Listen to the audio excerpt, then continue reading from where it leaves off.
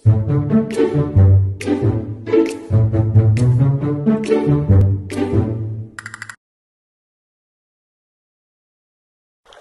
berada di tepi sungai untuk mencari ikan untuk persiapan makan malam. Ali sedang meletakkan jaring di tepi sungai lalu. Ali ternampak Atui yang hanyut di sungai. Eh benda apa tu? Ada seseorang yang sedang cederalah. Kesiannya. Lalu Ali bergegas pergi menyelamatkan Atui iaitu haiwan yang cedera.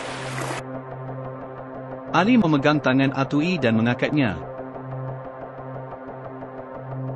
Ali terus membawa Atui pergi ke pondoknya untuk merawat luka yang ada pada Atui. Tangan Ali sibuk mencari ubat herba yang ada di pondoknya.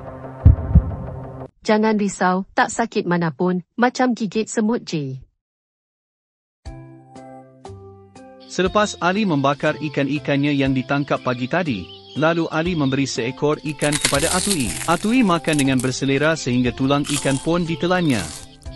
Ali yang memerhatikan gelagat Atui yang agak aneh dan hanya ketawa kecil. Selepas itu, Ali membawa Atui untuk tidur di sebelahnya. Ali perasan saiz badan Atui membesar lebih sedikit berbanding semalam. Ali merasakan badan Atui membesar dengan cepat.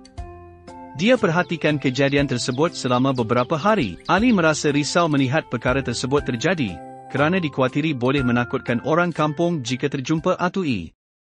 Penduduk kampung kebiasaannya melakukan rondaan pada setiap minggu untuk menjaga keselamatan penduduk.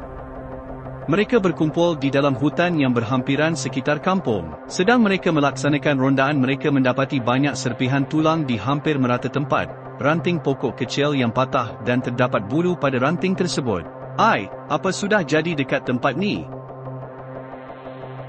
Sejurus sahaja mereka hendak berpatah balik ke kampung, muncul satu susu besar yang berbulu sedang bertenggik di atas dahan pokok yang besar. Mereka terkejut melihat makhluk tersebut lalu lari bertempiaran tanpa sempat membuat apa-apa kerana mereka dapat mengenal pasti bahawa makhluk tersebut dikenali sebagai haiwan pemusnah. Ali dan Atui terkejut kerana mereka sudah dikepung oleh penduduk kampung dan cuba melarikan diri tetapi gagal. Ketua kampung mengarahkan untuk melepaskan tembakan anak panah ke arah Atui dan Ali, lalu membakar sekitar kawasan penempatan Ali.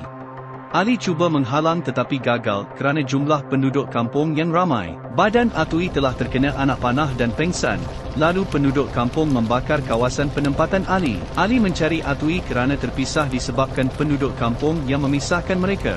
Ali menjumpai Atui dan menangis. Ali menyangka bahawa Atui sudah mati terkena anak panah penduduk kampung.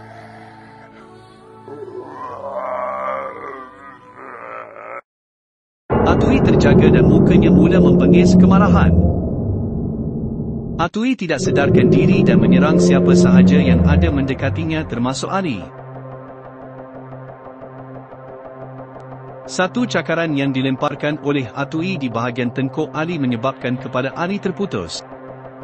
Kepada Ali berlumuran darah dan Atui terus meninggalkan di tempat kejadian.